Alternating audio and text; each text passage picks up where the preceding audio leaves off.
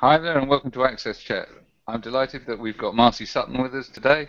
Marcy is um, one of our more technical guests, but she's also done something which I really, really like, which is create a blog called Accessibility Wins. And so delighted to have you with us, Marcy. Uh, really interested to hear about your journey into accessibility and also the, the great stuff that you're doing with Accessibility Wins and what, what it was that prompted you to to, to start that in the first place. Good morning.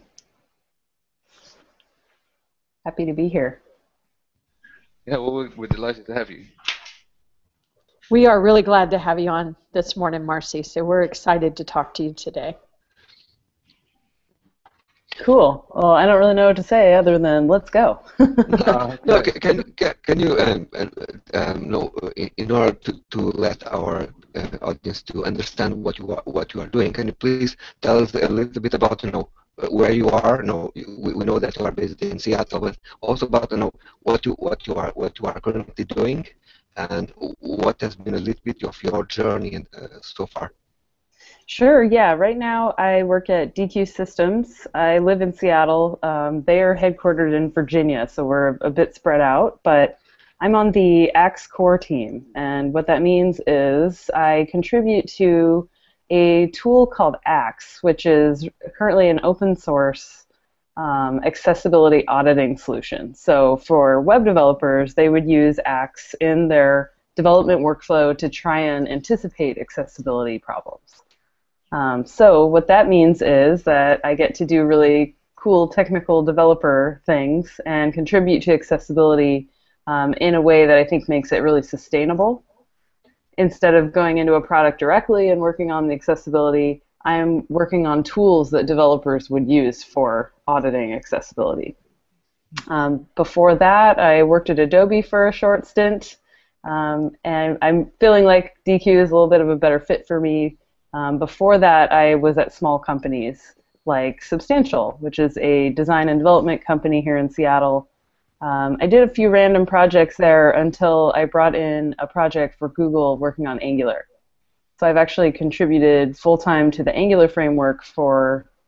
I, I worked full time on it for about 10 months, and since then it's been sort of um, off and on open source contributions.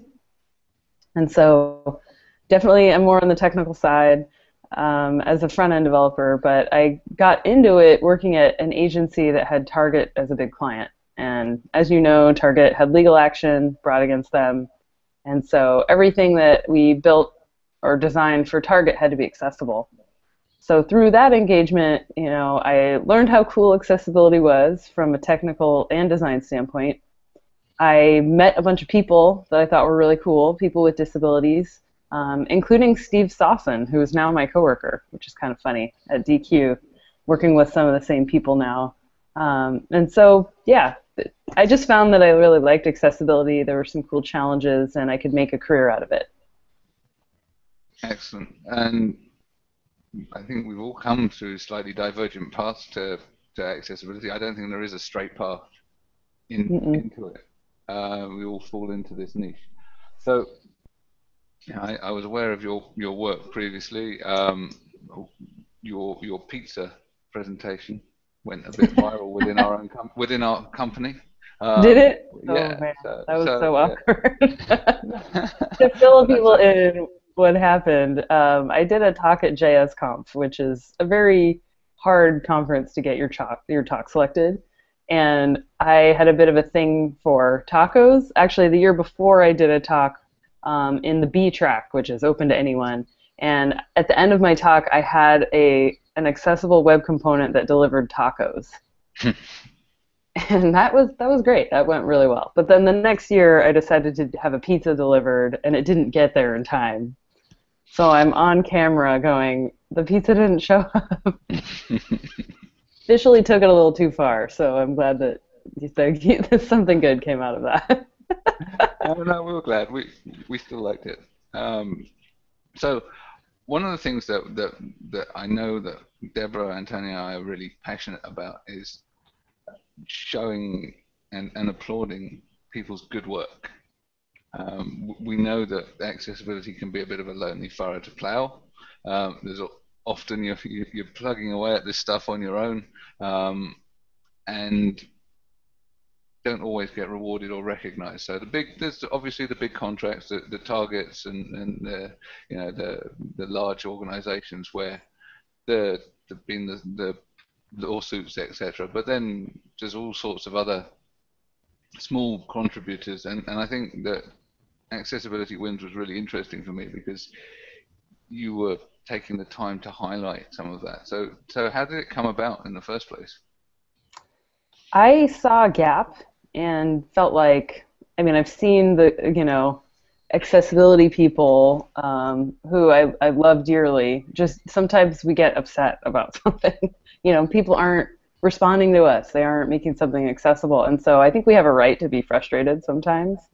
Um, but that just wasn't my style. Like even if I do get frustrated with the pace of things I don't hang on to that feeling for very long because I don't find it's productive. So just personally I tend to try and spin things around and make them more positive anyway. So if I was going to put something down to paper, you know, commit it to a, a website, I wanted it to be something that would uplift and make people feel good because those bad feelings just don't help. They aren't productive. Um, and so I started asking around saying, hey, do you have any favorite websites? I got back a lot of mobile, native mobile apps and not quite as many websites. And I also got a lot of people who said that I should highlight fails because that would be easy. There would be a lot of them. Uh, but it just wasn't my style. So, and I, I actually wanted it to try and improve a space. Like if native mobile was better, that's great, but that means mobile maybe has a mobile web has a weakness or desktop web has a weakness. And so I wanted to make those spaces better. So did you know, since my audience was mostly web developers, I focused on that and just tried to give people praise. And it turns out that was just the best thing because people get so excited when they find their thing has been written about. Um, and so that feedback that I got from people early on was like, okay, this is good. People are liking this. They're getting a little pat on the back. Um, and I feel a bit like, uh, what's the, like Santa Claus or something. I'm kind of like sneaking around at night and finding something good, and it's like, surprise, you won and that's a really fun feeling. yeah, that's great. So, Deborah, I know you've got a question for Marcy. Well, I, I do have a question, Marcy. I, I uh, a question and a comment. So I agree with you. I really believe that. Um, instead of us beating up on each other all the time and, and I'm mad at you because you used the wrong word or I, there's just so much of that in our industry and I I sometimes feel probably due to my age that I have to go in and, as the mother, going, "All right, everybody, play nice," because some of the comments that are made are vicious. They're so, they're they're just so mean spirited, and and then when that happens, we all shut down and, and we don't move forward. We don't seek for understanding, and so I I love your work because of that, because I really think we're all learning. We're all learning. Technology, communications, it's changing so fast. And so I write, you know, blogs too, and, and there was one that I wrote recently that I was afraid to write. I was afraid because I thought people are going to turn on me.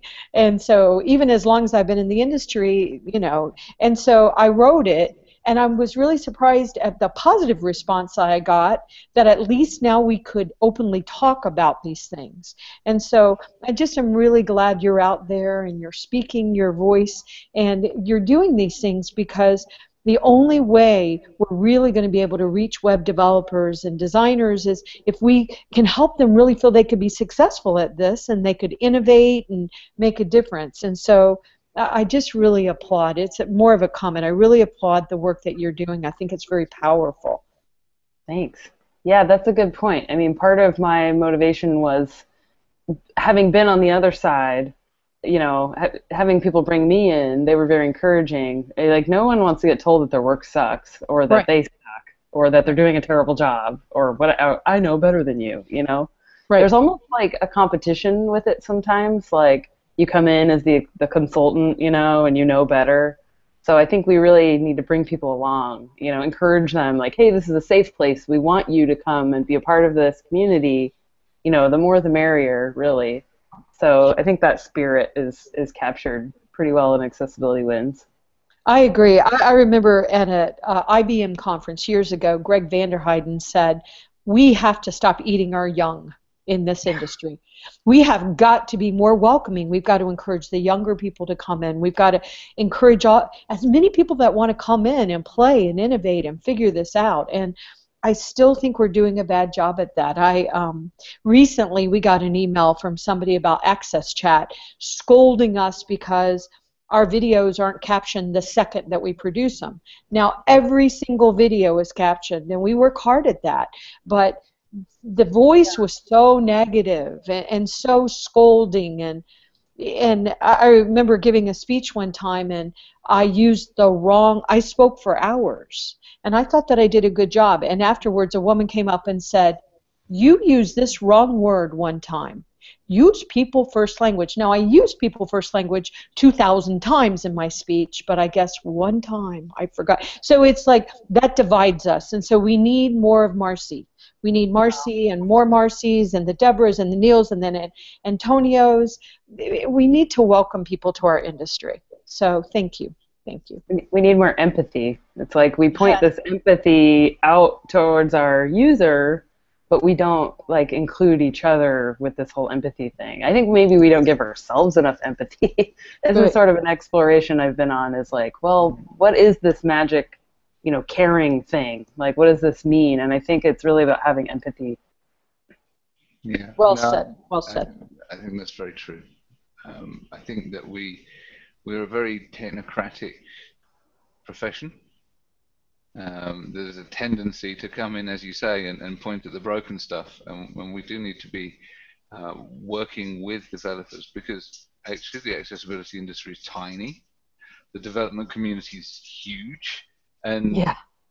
we therefore we, we you know we've got to we've got to get people up to speed and and, and you know make ourselves redundant really um, not that I mm-hmm. don't think that we will because there's just too much work to do but um, that's the aim uh, to cut myself out of a job by getting uh, stuff to the point where it's just part of everybody's normal way of working um, and that requires us not to be uh, combative and negative and you know, so to point out the good stuff, accentuate the positive, and, and, and that can be difficult sometimes, I know, because you know there, there are situations where people just don't want to know, and and, and that can be tricky. Um, but also, I think there's there's so much out there for you know, small content providers as well, because actually most of the people are um, that are creating content aren't companies, uh, don't have resources. So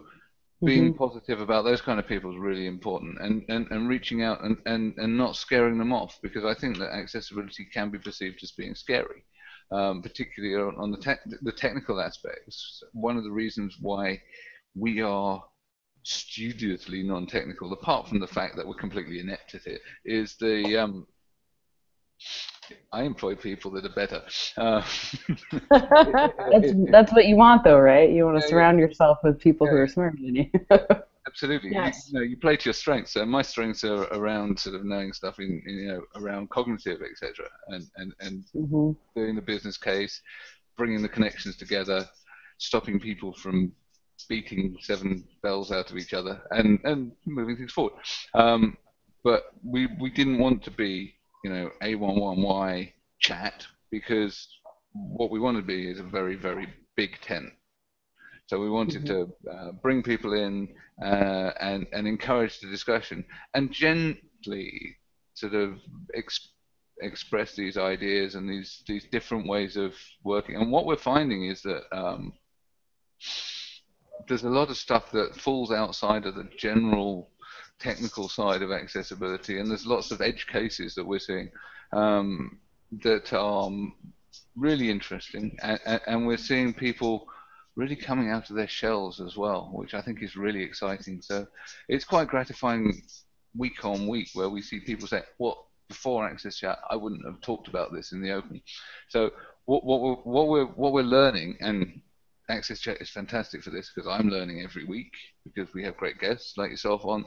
Is um, is to be humble and, and to not make, not make the assumptions because what I learn about my assumptions is that I'm pretty much always wrong.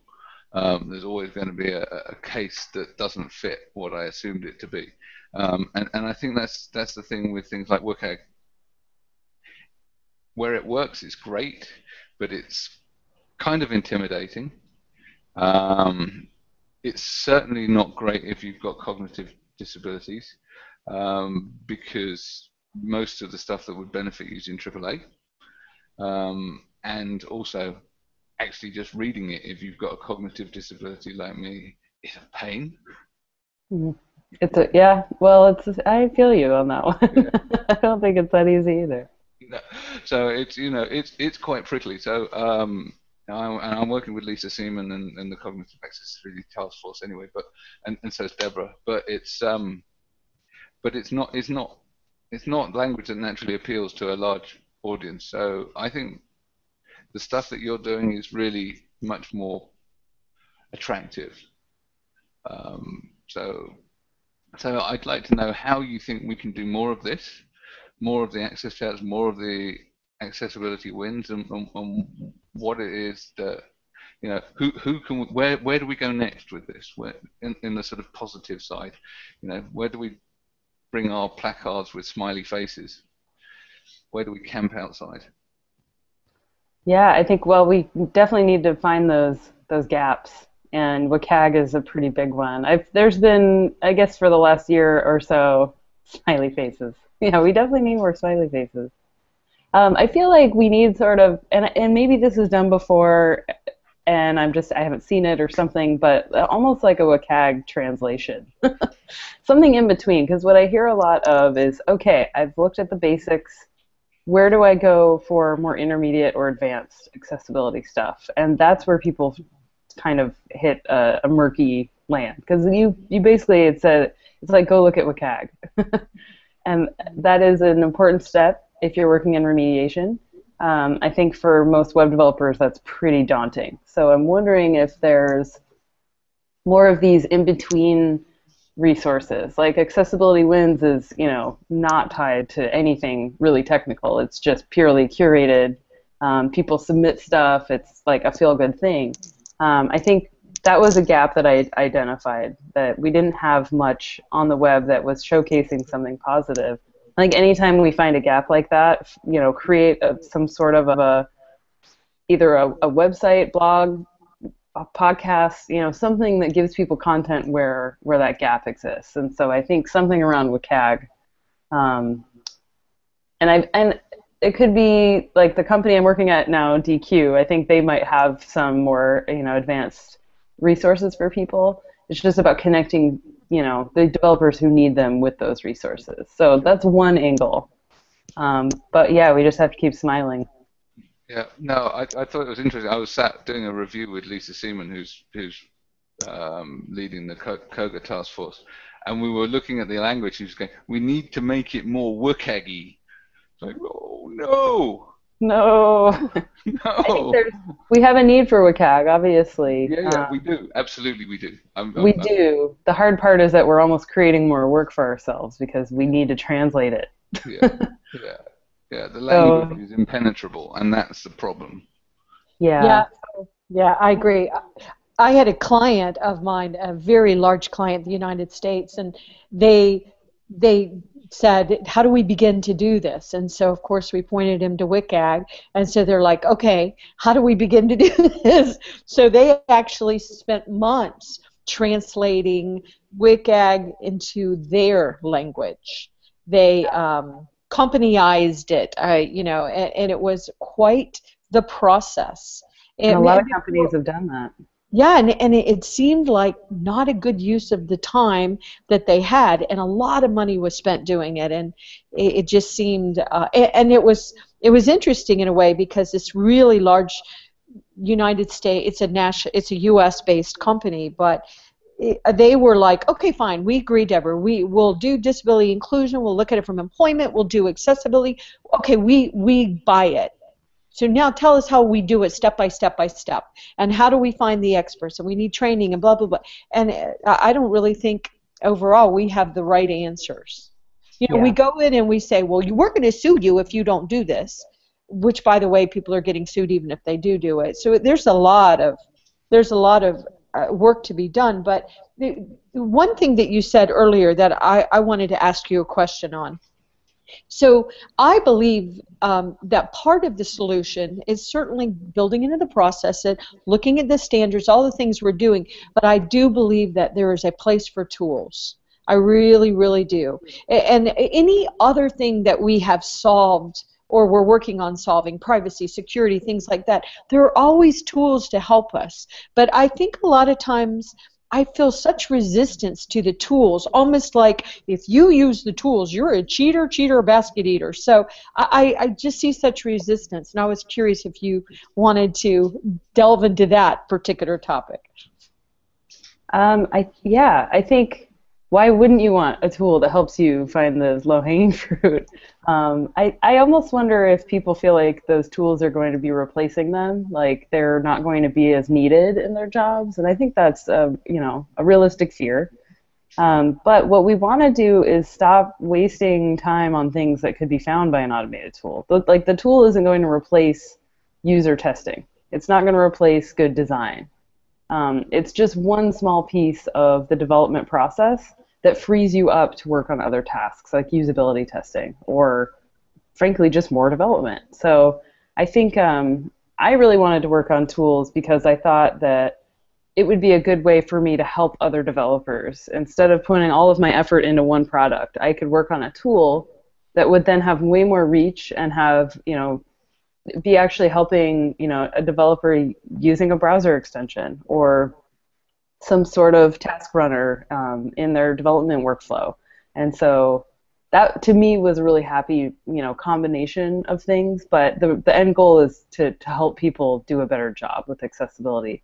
Um, i'm sort of feeling like this is a freight train that's sort of you know already left the station and we're going Yep. on there. We'll have to bring people along. Um, so hopefully we can help you know, calm people's fears about, well, no, you're not being replaced because you do an important job. Um, tooling is just freeing up those tasks that, you know, you shouldn't have to go into a web, you know, rendered web page and find an, an incorrectly typed ARIA role. You know, Right. for like those little teeny things that you might not even see with your eyes on the first pass. Um, let the let the tool find that and and let you give you more time to go and fix it. Yeah. Well said. Well said.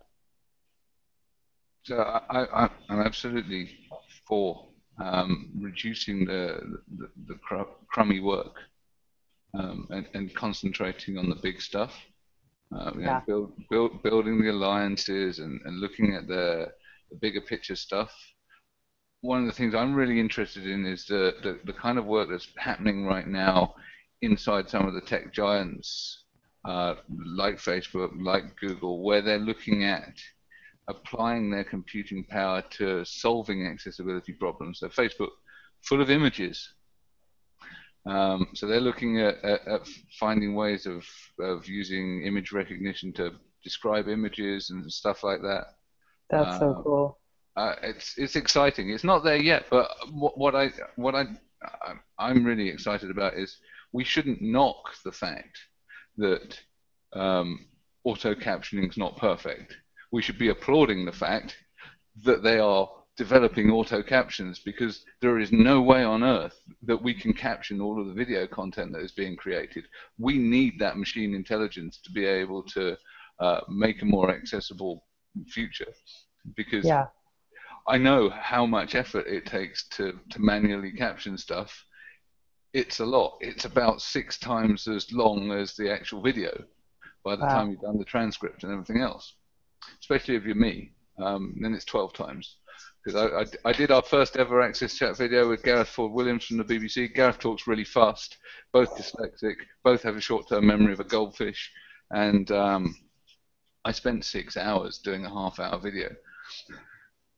It's not, you know, so it, it's well, yeah, but I mean, it, but it's one of those things where if I could get a computer to do that for me and do it accurately, why Yeah. wouldn't I?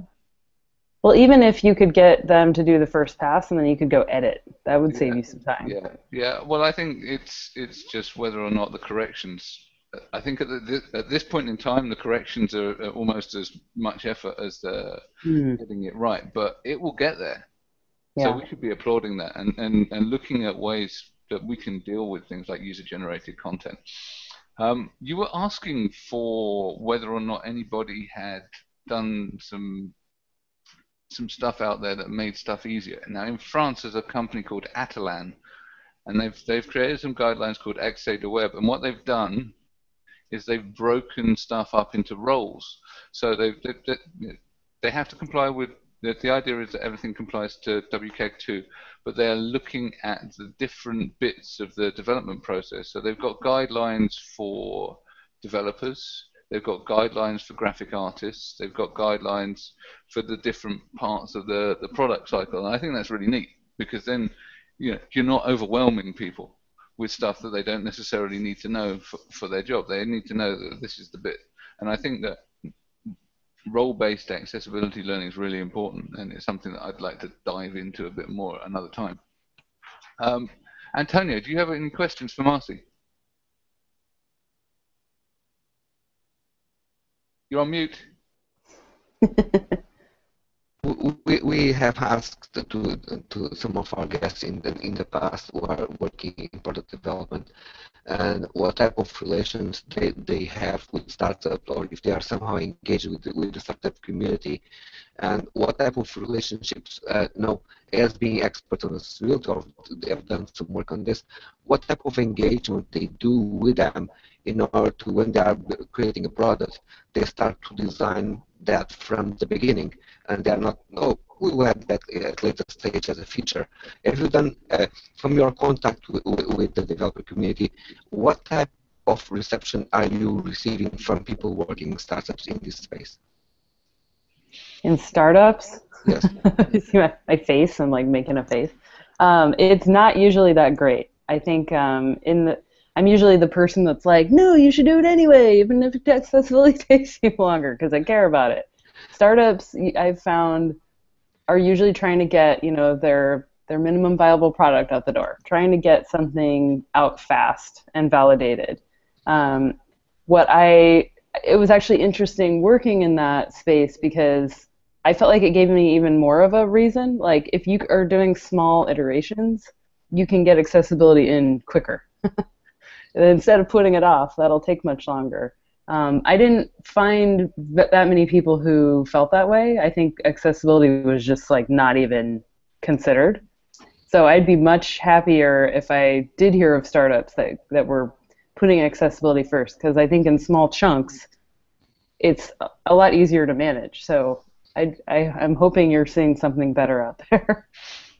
No, because I, I, I uh, a few uh, a few months ago, I have organized an hackathon in the, here in the airport in Cork, and that was like exactly the same thing. They were creating uh, solutions to help the airport and to help people to navigate inside the airport, and they were not no, they were looking okay, how can we engage with users where we know where they are, what but nobody was actually looking to find ways how we can use, help use this technology to help people to navigate inside the airport.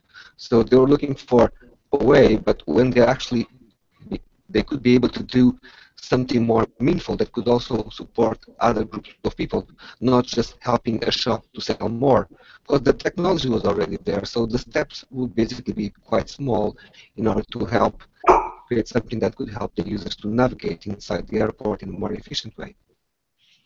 Hmm. So, so oh, I hear dogs. that's, that's okay. Um, so maybe um, some of it comes down to agile, and agile is really important. And, and obviously, there's a, a, move to DevOps right now, but perhaps um, we need more people being able to demonstrate the the possibility of using uh, and and making sure that you include accessibility in the uh, in the agile development process because it is entirely possible. You can uh, you can have the accessibility in there. You can include it in your sprints. we, we need to be accepting that not everything you know, as with all of the feature sets in an agile development process, is going to be there in your first iteration. But so long as you have a backlog and accessibility doesn't stay permanently in the backlog, I think it's entirely doable and you can fit it in as part of that process. Yeah, I agree. Too hard. Small wins, yeah, and really just making a culture around, you know, getting it in early instead of like way after the fact. Because we all know that doesn't work. It doesn't work with mobile either. No. Or any So- of those, you know, important building blocks. Yeah, Yeah. that that. Oh, it's in phase two. Yeah, heard heard that one before. Just a few times.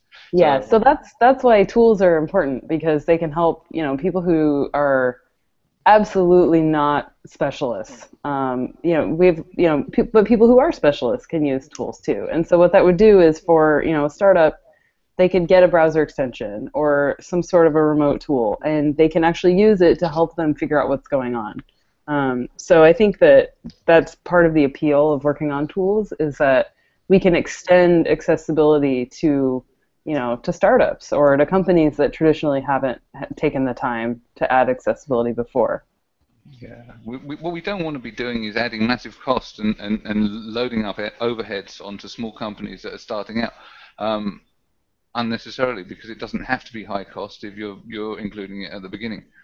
I'm Yeah. aware that we've we've reached our half hour point. Yeah, so but I I I think we, we need we, we there's there's something that we are missing here. So uh, I think uh, Marcy is, is is also working in, in in a project called GDI Seattle, helping women to learn how to ship products and how, how to queue. So can you can you just talk the what type we are talking about uh, young girls? We are talking about people that are changing their careers. Uh, can you give us a little bit of an idea about what type of people you have on, uh, working or helping in that space? Yeah, Girl Develop It is a nonprofit that helps adult women, so not kids. Um, sometimes we have moms that come in, um, or like a mom and a daughter will come in, but it, the goal is to teach adult women, um, people who are transitioning careers, or you know maybe they're a project manager and they just want to be more effective in their job. So I teach a lot of the front end classes like HTML and CSS, which is great for accessibility because I'm getting you know, a bug in their ear really early, you know, maybe even the first time they're hearing about HTML. And so it's been a really good way to give back to the community. It, it is a lot of work, as I'm sure anyone who teaches and writes curriculums will know that it is a lot of work. But it's super worth it when I have women who, you know, say that this is what they needed to get started or they felt encouraged. And, and those are really good feelings. Marcy, I I know that we're um, almost out of time, but I, I just really want to ask one more question before we go.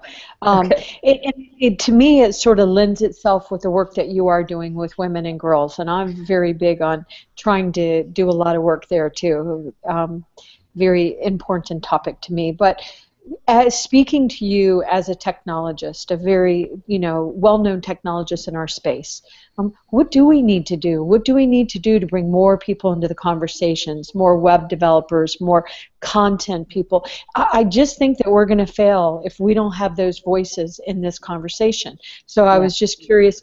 What do you think? What can we do here at Access Chat to support you? What can we do to support the entire accessibility field? But that's a really important thing we've got to solve. Yeah, I think the the pipeline, as we call it, at least in you know for women in technology, I think that that is getting getting better. I think what we need to focus on as an industry is keeping people. you Yes. know, not not losing people when you know the going gets rough, or or even just trying to not let the going get rough. Um, so part of you know, and I, I've seen a lot of things written by you know really amazing people lately, and it seems like you know we've been working really hard at this pipeline problem. We need to work harder at you know making it a safe, positive place to pe- for people to work in web development. I agree. I agree. Well said.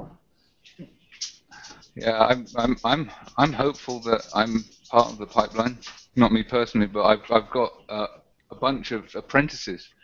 So we have a, an accessibility apprentice program that I started uh, at Atos, where we, we teach people the coding skills, but also the auditing skills and how to use assistive tech. And I'd love for more companies to, to do stuff like that. Um, but but also for people to see that it's a, a viable career because Yeah. that's what they have. You know, they've they've got a viable career within our organisation. We're a large company. We've got 100,000 employees. There's plenty of projects for them to be uh, working on over the next 15, 20 years.